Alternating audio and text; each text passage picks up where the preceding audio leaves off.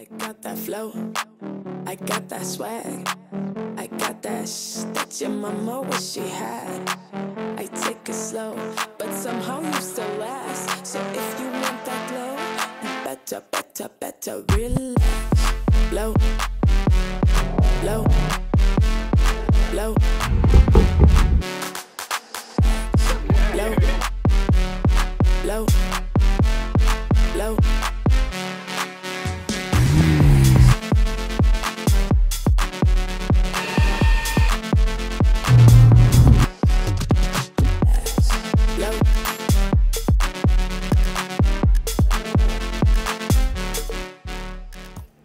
Herzlich willkommen zurück. Schön, dass ihr heute auch wieder mit dabei seid. Ich darf euch heute aus Paris begrüßen, denn Toyota stellt hier ihre verschriebenen Antriebsarten vor. Heißt das Event nennt sich Toyota Multipath. Mobilität für alle, Land, Luft, Wasser, alles ist dabei. Gestern ist das Event mit einer emissionsfreien Schifffahrt auf der Seine gestartet, was auf jeden Fall schon sehr spannend war, denn Toyota stellt eben auch Elektroschiffe und auch Wasserstoffschiffe her. Das war super spannend. Aber ihr kennt mich, ich bin hier wegen den Fahrzeugen und hier ist die Bandbreite an Antriebssträngen auf jeden Fall genauso interessant. Welche Antriebe, welche Antriebstechnologien Toyota anbietet, welche in Deutschland verfügbar sind, wie sie sich auf der Rennstrecke verhalten, wie sie sich im Offroad verhalten. All das finden wir gemeinsam in diesem Video raus. Deshalb wünsche ich euch jetzt ganz viel Spaß auf dem Toyota Multipath Event und mit mir.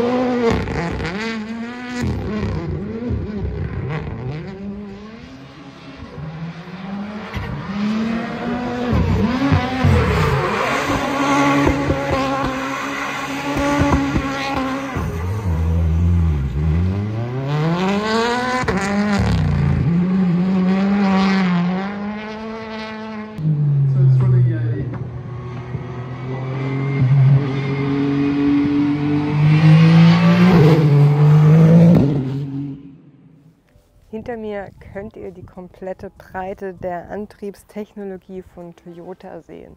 Wir werden uns hier jedes Fahrzeug mal genauer zur Brust nehmen, uns die Antriebe anschauen, aber wir können auch einfach mal durchlaufen. Wir haben hier dreimal den Toyota Hilux mit dabei, jeweils in einem verschiedenen Antrieb. Wir haben hier jetzt zum Beispiel einmal ähm, den Wasserstoff, wir haben die komplett elektrische Variante als Konzept mit dabei und wir haben dann eben noch den E-Fuel mit dabei.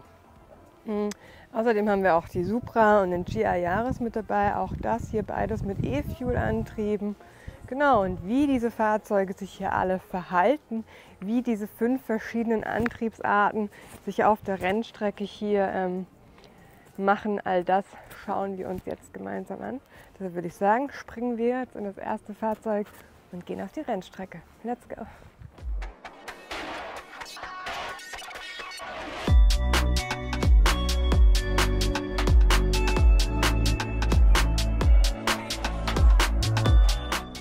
Wir haben hier jetzt den Toyota Hilux als Wasserstofffahrzeug. Wir haben hier 182 DIN PS.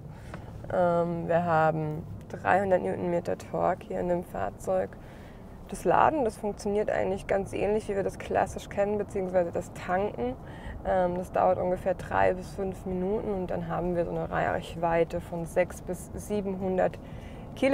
Also gerade im Vergleich zu einem Diesel ist es wahnsinnig äh, smooth und angenehm in der Beschleunigung.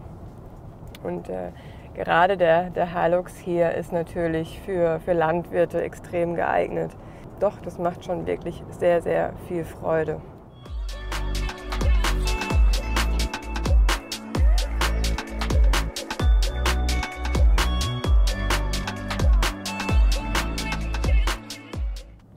Wir sitzen hier jetzt einmal im Toyota Hilux Concept als elektrische Variante mit Heckantrieb. Also quasi der direkte Vergleich zum Wasserstoff Hilux gerade eben. Leider kann ich euch nicht so viele Daten hier jetzt schon zum Fahrzeug verraten. Was ich sagen kann, ist die Reichweite. Die liegt ungefähr zwischen 200 bis 300 Kilometer, je nachdem, wie man unterwegs sein möchte. Und wir haben hier halt eben ein voll elektrisches Fahrzeug.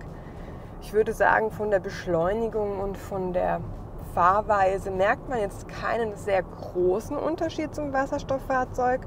Wir beschleunigen einmal noch, ist es wirklich vom Fahrverhalten sehr, sehr gleich, muss ich sagen. Was natürlich ein großer Unterschied ist, ist das Laden bzw. das Tanken. Hier im Elektrofahrzeug haben wir natürlich eine viel ähm, längere Ladedauer für den Hilux.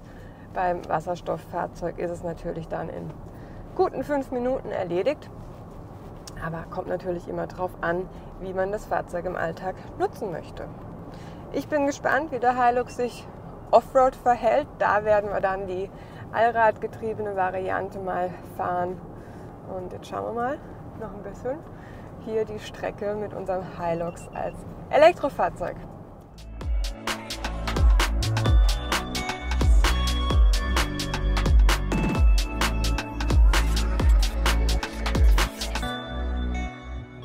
Als nächstes ist der Toyota GR Jahres dran. Den durfte ich euch ja erst neulich in Lyon als Verbrenner vorstellen und als Schalter. Jetzt haben wir hier als äh, E-Fuel mit einem Automatikgetriebe und der Möglichkeit auch manuell über die Pedal zu schalten. Auch hier haben wir das gleiche wie in der Supra. Man hört keinen Unterschied zum Verbrenner, auch in der Beschleunigung. Es macht einfach nur riesig Freude, muss ich euch ehrlich sagen. Allgemein finde ich den neuen GR Jahres unfassbar gelungen. Und ich finde es auch schön, dass man die Wahl hier hat auf verschiedene Limited Editions. Ja, ich bin ruhig, wir genießen noch ein bisschen die Performance, bevor wir dann gleich weiter im Programm machen.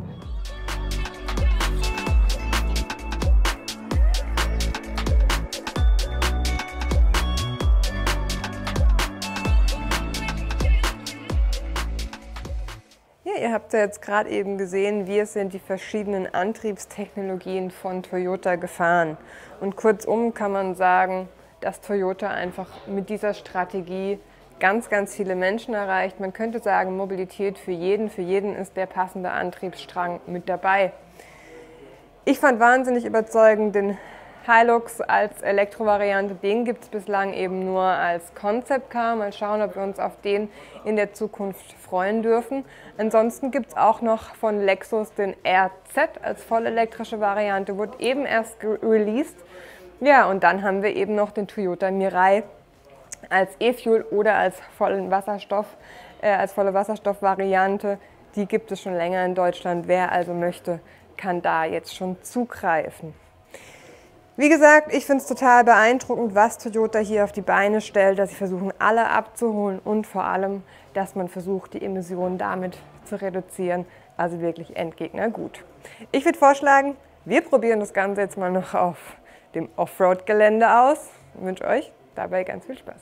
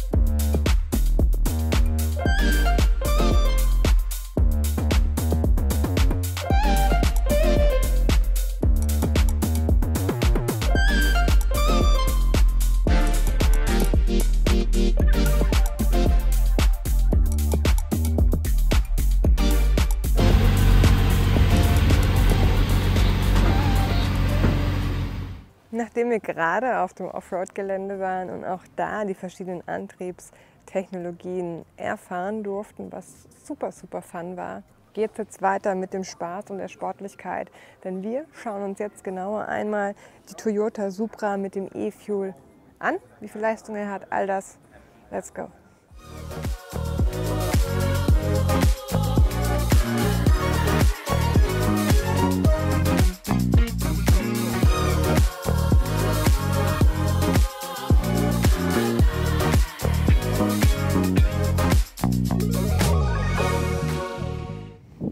Mir steht die Toyota Supra als E-Fuel und ich würde sagen, das ist der Beweis, das könnte der Beweis dafür sein, dass unsere Zukunft nicht nur rein elektrisch stattfinden wird.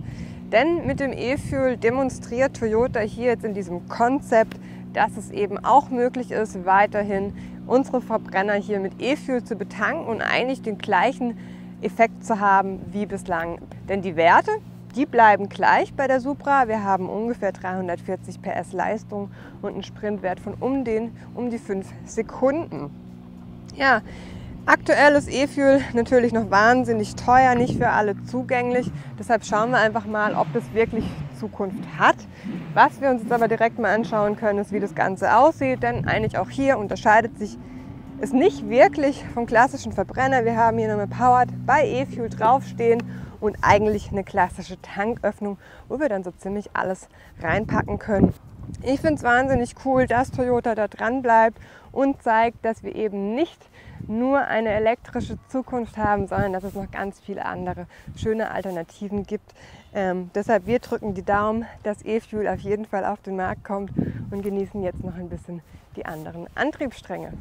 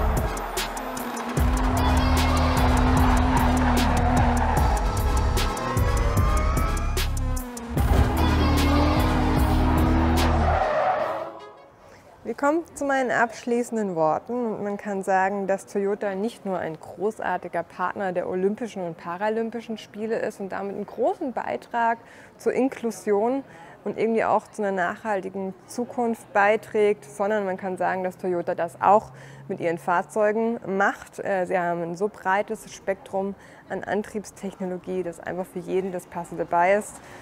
Mobilität für alle zu Land, Luft und Wasser und auch Zweiräder sind mit dabei.